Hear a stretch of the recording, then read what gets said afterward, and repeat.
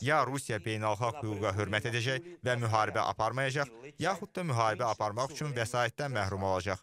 Başqa yanacaq doldurma məntəqələrini taparlar. Ancaq söhbət təkcə puldan getmir.